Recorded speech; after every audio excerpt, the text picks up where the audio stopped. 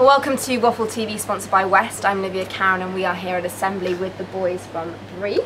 Hello. How are you all doing? There.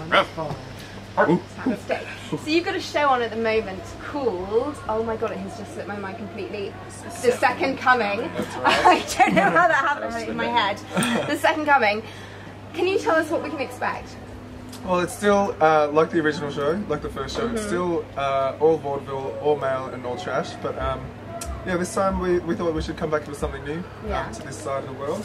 So very much so uh, riddled with amazing circus, um, glamorously trashy, silly, irreverent. Um, uh, we've got a whole heap of new, of new group acts.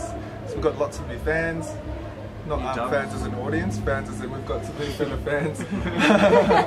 Which is, we're still trying The to sort fans them. are awesome though. We're They so, are yeah, really we're cool. starting to sort them out. Um, and yeah, this is uh, one of the costumes um, uh, from the show.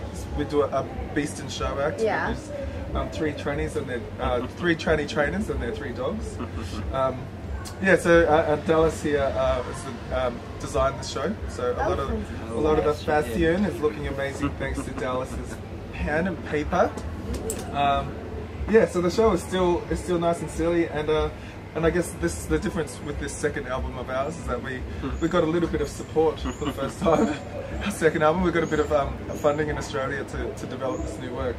So aside from the costumes and the acts, like it's still, I guess we've been doing so many interviews. It's like uh, you know, it pays homage to the history of circus. Um, it um, the extravagance of burlesque and um, and the comedy and storytelling of drag. I think is you know the three kind of things that we are, are all really interested in playing around with. Um, we've got big fancy new bird bath, big opening, uh, big closer to the show, big opening to the show. We've got four new boys, so me and four new Fessa, boys. two of the original cast, and then we have four new Ah. fellas. So Louis Biggs, Evil Hate Monkey, Dallas Delaforce, and Ben Lewis. Uh, the new new new kids on our block, which is it's been amazing, and it's um, No you brief know, boys. No briefs boy. So what does it take to be a Briefs boy? What kind of skills do you need? Uh, well, I guess it's a bit of a mix of skills, really. So some kind of skill Yeah, okay.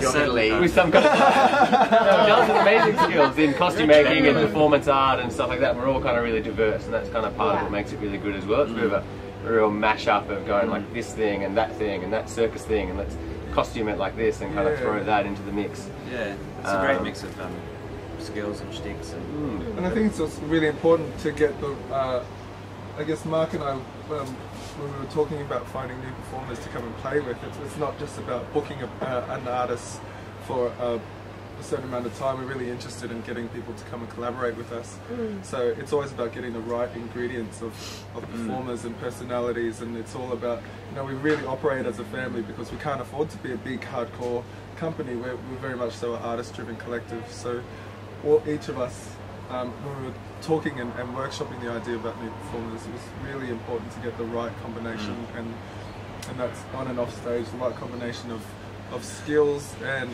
and creativity is a massive part. Like you know, so many people going, oh, you can't get another drag queen. I was like, well, we're not just drag queens. We're a lot more than that, and Dallas is a lot more than a drag queen. So yeah, it's, a- breaking those boundaries, I guess. yeah, and and, All those. and never once were we fearful of going, oh, too many trannies in one group. It's going to be a shit fight. It's like, no, it's, it's actually really exciting to, to have this really interesting it's combination. Um, and we love the idea of these kind of three kind of bent queer, drag, gender, gender bent performers, and then these equally bent circus performers. That are, so there's kind of yeah, this this nice combination.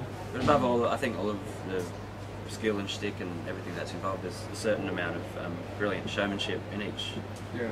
in each boy, I think. Yeah, which really shines, you know, individually and then in the group.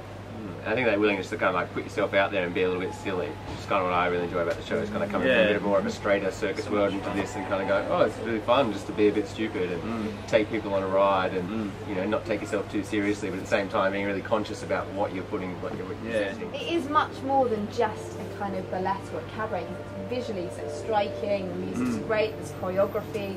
there's this kind of circus type Mm. feel to it. It's, it's got a bit of everything. Yeah, it's more of a massive experience, I think. Yeah. I As kind from the punter side, yeah, they do leave quite ecstatic and they've had a great, they've had a great journey. I think it's like it's like theatre for the MTV generation. It's like you know, Yeah. pun- we Yeah. try and keep it punchy. We kind kind of take them on a journey, so it's not like just in your face the whole time. There's kind of whimsical Beautiful moments. moments. There's beautiful moments. There's weird moments. Disgusting there's moment. disgusting moments. These two are just disgusting. Oh God. and like music that people enjoy, and you know, Yeah. Yeah, it's looks always- and yeah, contemporary Yeah. culture and references that people kind of get and go, oh Yeah. yeah, Yeah. Different eras of references yeah, as well. yeah. It's really like Yeah. right through there, isn't it? And it's always, Breach is always sort of written on um, all that shtick that we've talked about, but also the music, like you're saying, like the soundtrack to the, the show is such an important We've been busting combination. people, shazamming throughout the show. Constantly, yeah. She could bust a shout out. Yeah, yeah. We've got amazing. Had worked with an amazing um, music music producer. Had a musical director who's. I wish could, we could have on tour with us. Yeah, the Busty Beats. they're rocking it up for us. Hmm. So, so what does the future hold for Mm. Briefs?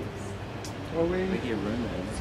Yeah, well, uh, you know, this is again, like I was saying, this is an opportunity for us to, to showcase the work, and it's a bit of a presentation um, opportunity for us. So, aside from being able to experience um, Edinburgh for the month, it's also about us being smart. We're over this side of the world. It costs a lot to get us over here, so we're really kind of working hard. Aside from presenting the show that we're really proud of, but also getting as many producers and presenters in to watch the show. We'd love to be able to spend a decent chunk of time over this side of the world, and so hopefully you'll um, see loads of us over this mm-hmm. side, and the plans to do some touring, a decent amount of touring, and the more we can keep mm-hmm. artists in Australia employed, the better. Like, yeah, it's, um, from yeah, as long the more we can keep artists employed, like that's a it's kind of a weird businessy thing to say, but just love the idea that we have 12 a 12 week tour with a group of friends and um, and amazing workers that are working with us and for us, um, and we all managed to pay each other. We all managed to survive doing this thing that we all love doing. Yeah. Fantastic. Well, thank you so much for chatting to us. And you can go to see Briefs. You're on until the 26th of August. That's right. And it's 10 to 8 every night here at Assembly. Um, that's brilliant. So we will hopefully come see more of the fake eyelashes and the big costumes. Yay! Thank you so much for having us. Thank on you. Wampa. Thank you. See ya.